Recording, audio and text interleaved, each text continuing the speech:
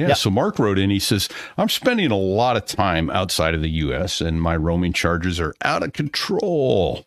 Well, I can use a local eSIM to get cheap local data and calls. It's the cost of receiving calls or texts that to my roaming US number that are killing me. I had thought about switching to a Skype in number or even a VoIP provider and giving that to everyone instead, but I'm concerned about all those services that insist on sending you a six digit text code to verify you. Skype explicitly says they don't support that. And from what I read, the VoIP providers suffer the same problem. Uh, their numbers are blacklisted for verification purposes. Does anyone have any suggestions? Um, I do because I, I do this with some things, and my daughter does it with way more things. She recently moved to Italy, as I think I've mentioned.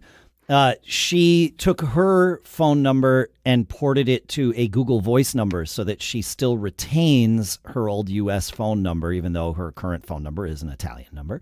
Uh, she can get all the 2FA text messages to her Google Voice number, and then of course anybody that sends her a text message, you know, if they for, if they forget or they don't know that her number changed years ago, she still gets all that stuff. But I was just working with her the other day, and her bank text, her U.S. based bank, texted her a 2FA authentication code to Google Voice, and it you know just showed up in her email because we that, that's how that works. Um, but it would show up in the Google Voice app on the phone.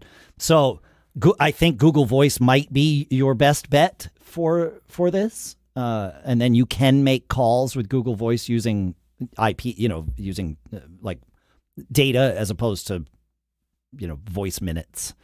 So that would be that's my thought. Also, does a really nice job of screening calls for you It does. if you set I- it up to do that. I, yeah, it's got a fun little interface for that. State your name, and I'll I'll get back to you. yeah, yeah, it's pretty good.